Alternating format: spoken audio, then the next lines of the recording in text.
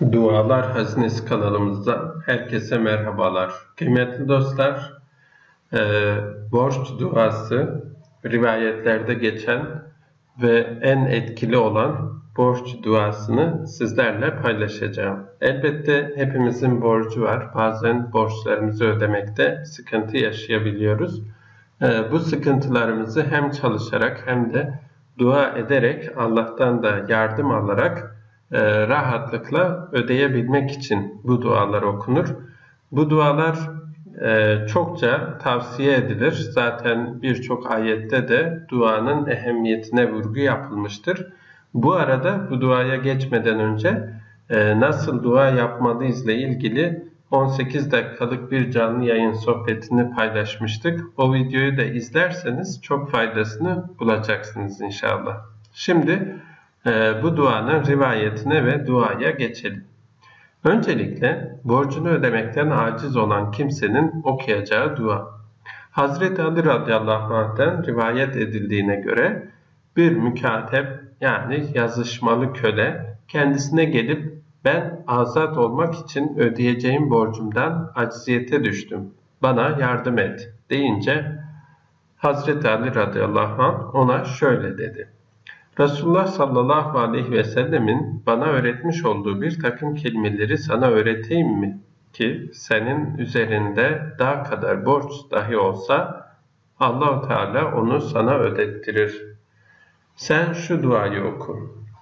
Allahümme ekfini bi halalike an haramike ve agneni bi fazlike ammen sivake. Tekrar okuyorum. Allahümme ekfini bi halalike an haramike ve agneni bi fadlike ammen sivake. Bu duayı eğer Arapça okumayı bilmiyorsanız e, videodan ta, benim söylediklerimi not alaraktan e, bu duayı okuyabilirsiniz. Çok kısa bir dua ve gerçekten okunması da rahat, ezberlenmesi de kolay bir dua. Zaten birazdan tekrar birkaç defa bu duayı okuyacağım. Sizin daha rahat ezberleyip veya daha iyi dinlemeniz için.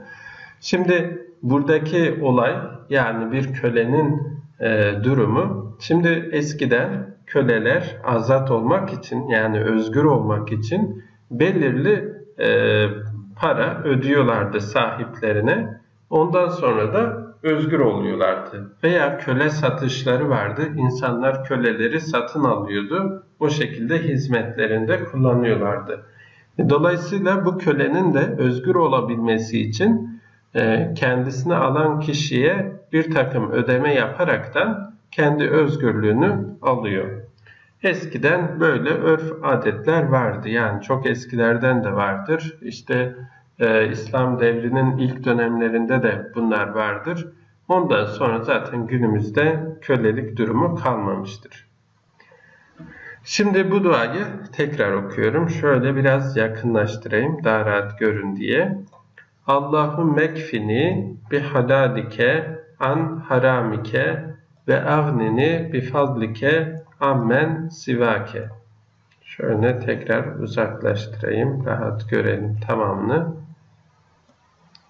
Şimdi ben bu duayı birkaç defa okuyacağım. Siz de dinleyebilirsiniz. E, not alabilirsiniz. Allahümme kfini bi halalike an haramike ve agnini bi fazlike ammen sivake. Allahümme kfini bi halalike an haramike ve agnini bi fazlike ammen sivake. Allahümme kfini bi halalike an haramike ve agnini bi fazlike ammen sivake. Kıymetli dostlar bu duayı bu şekilde e, okuyabiliriz. Yani her gün okuyabiliriz veya e, ne kadar isterseniz okuyarak e, bu şekilde kendimizi e, borcun sıkıntısından bir noktada kurtarmış oluruz. Dualar zaten normalde de e, yaşadığımız sıkıntıları kolaylaştırmak, Allah'tan her zaman yardım istemek, mağfiret istemek için e, yapılan bir ibadettir. Zaten dua ibadettir. Bir de hadis-i şeriflerde geçen dua müminin silahıdır denmektedir. ve bizler dara düştüğümüzde e, derdimizi bu şekilde Allah'a arz ederek ondan yardım isteriz.